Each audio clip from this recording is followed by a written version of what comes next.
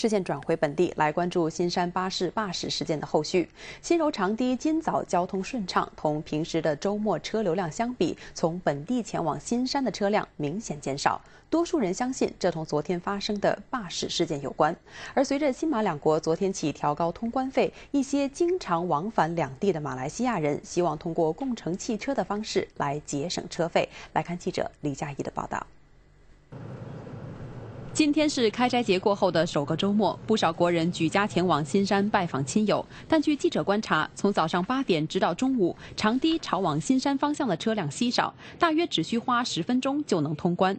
多数民众认为，这同昨天发生的罢驶事件有关。可能第一第第一个 weekend 大家想说啊，play safe 了，暂时先不要啊轻举妄动这样子啊，看看局势怎么样。可能下一个星期又会又会有车辆再进来了。柔佛新山自八月一号起开始调高出入境过路费，所有汽车、罗里、德士以及巴士的车费上涨幅度约五倍。我国也从昨天起把外国汽车入境费从二十元上调到三十五元，不过周末却不收费。一些经常来往新马的国人认为，长期来看这是一笔不小的开销，可能会减少到新山的次数。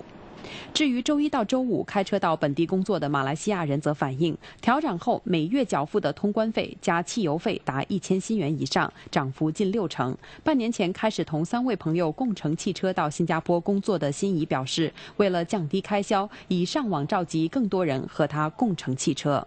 我的车除了算这些每天来回进出，嗯，它 maintenance 也是要。有时候在 gas 上会发生一些小碰撞，然后最好是可以加一个七人车，然后载满人。如果可以这样子做，会是最好的。另外，民主行动党今天在柔佛州召开记者会，要求马国政府解释征收出入境过路费原因，并促请马新政府进行协商，避免影响两国人民的利益。